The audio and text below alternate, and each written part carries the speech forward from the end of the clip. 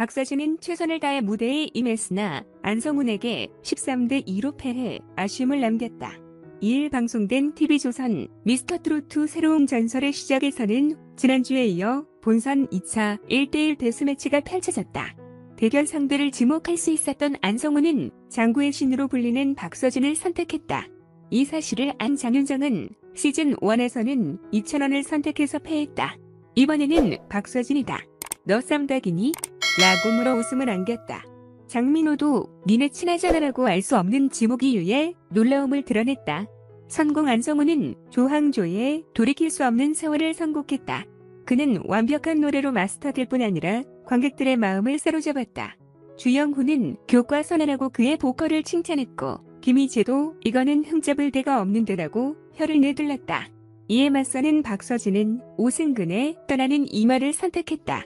그는 어느 날득 생각이 들었다.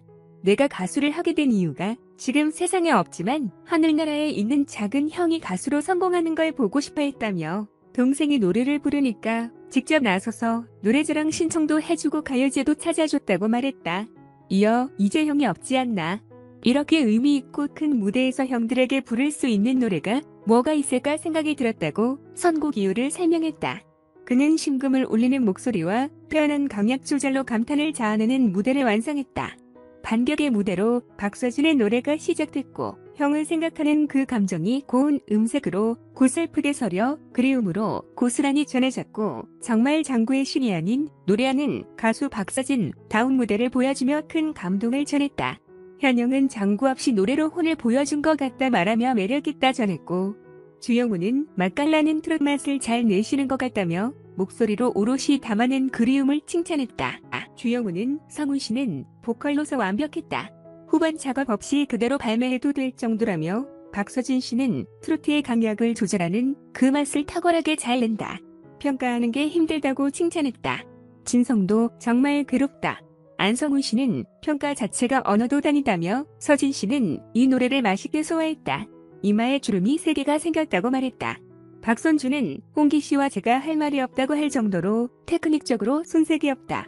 앞으로 힘차게 자신있게 직진하는 모습을 보고 싶다며 서진 씨는 부담감이 컸던 것 같다.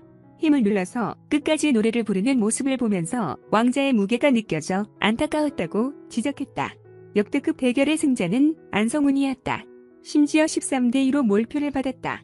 그는 결과가 발표되자 눈물을 펑펑 흘렸다. 안성우는 저한테는 힘든 제도전이었는데 좋은 기회를 주셔서 감사하다고 말했다. 그는 무대에서 내려온 뒤 박서진을 다독이며 너 노래를 부를 때 울컥했다. 무대를 떠나서 행복해서라고 눈물을 흘린 이유를 밝혔다. 박서진 뜻깊었다. 무대를 준비하면서 스스로 뿌듯했다. 활동할 때는 이렇게 세세하게 연습한 적이 없었다. 경연을 하면서 한 곡, 한 곡 파고 연습하고 하다 보니까 이렇게 연습하는구나. 새롭게 배운 부분도 있다. 새로운 친구도 생겼고 가수라면 존경할 수밖에 없는 작곡가분에게 곡을 주고 싶다는 연락도 받았다. 행복하다고 도전을 마무리하는 소감을 전했다. 이로써 본선 2차 1대1 대수매치 모든 경연이 끝난 가운데 패자 부활이 발표됐다. 패자 20명 중 다음 라운드에 진출할 추가 합격의 주인공은 진욱, 하동근, 최혁진, 박성훈, 임찬으로 결정됐다. 반면 안성준, 박서진 등 15명은 최종 탈락하게 됐다. 또한 본선 3차 진출자 25명 가운데 1대1 데스매치 토보는 김용필, 안성훈, 송민준, 최수호, 박지환이 선정됐다. 그리고 이 중 가장 빛났던 영예지는 최수호로 결정됐다.